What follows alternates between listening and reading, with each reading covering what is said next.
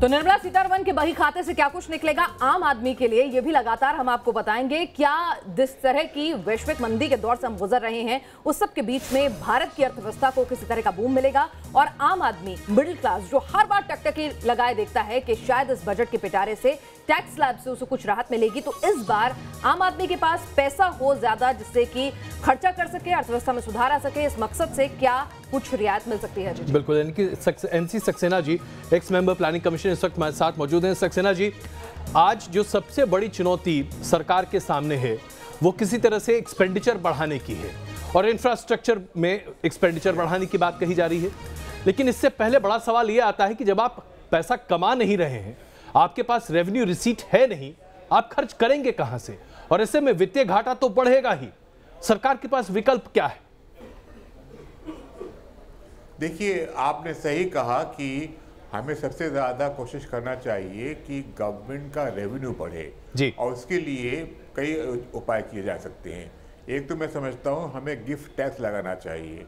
दूसरा ये है कि इनहेरिटेंस टैक्स लगाना चाहिए कि जहाँ पर जो बहुत बड़े बड़े लोग हैं पाँच करोड़ दस करोड़ से ऊपर का जहाँ इनहेरिटेंस होता है उस पर टैक्स लगाना चाहिए। तीसरा सुझाव ये है कि देखिए फ़ूड सब्सिडी हमने दो रुपए और तीन रुपए में गेहूँ चावल देने का फैसला किया था आज से दस पंद्रह साल पहले। उसको दो रुपए और तीन रुपए को बढ़ाकर कम से कम पाँच तो छः रुपये कर देना चाहिए जिससे कि फ़ूड सब्सिडी का जो भार है एक डेढ़ लाख करोड़ वो वो कम हो सके। और तीसरी बात ये है कि हमें कर, हमें जो जिनकी ब्लैक इनकम है उसको वाइट में कन्वर्ट करने के लिए कोई इंसेंटिव देना चाहिए। ये सब हम काम काम करेंगे तभी हमारी रेवेन्यू बढ़ेगी। अगर हम रेवेन्यू नहीं बढ़ाएँगे तो सिर्फ़ इनकम टैक्स में छूट देने से काम नहीं चलता क्योंकि वही खर्चा गवर्नमेंट करेगी वही लोग खर्चा करेंगे।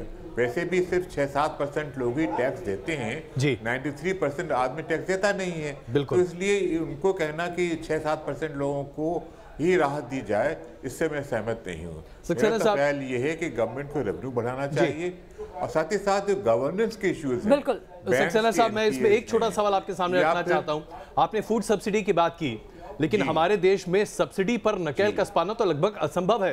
तकरीबन सत्रह हज़ार रुपए सब्सिडी दिया जाता है प्रति परिवार अगर आप तेलंगाना की बात करें उड़ीसा में तकरीबन उन्नीस हज़ार रुपए। दिल्ली में चुनाव है भारतीय जनता पार्टी ने कहा है दो रुपए प्रति किलो आटा हम हर किसी को देंगे। सरकार बनेगी तो यह करना ही पड़ेगा। आज दो रुपए प्रति किलो गेहूँ मिल रहा है। ऐसे में सब्सिडी इकोनॉमी खत्म करने के लिए जो इच्छा शक्ति चाहिए क्या किसी सरकार में यह हो सकता है? देखिए भारत सरकार अगर प्रयास करे इस पे तो दो रुपए तीन रुपए को बड़ा थोड़ा बढ़ाए। मैं नहीं कह रहा बीस रुपए कर दीजिए। जी। आप पाँच रुपए छह रुपए भी कर दीजिए तो उसमें उसमें कोई नुकसान नहीं है।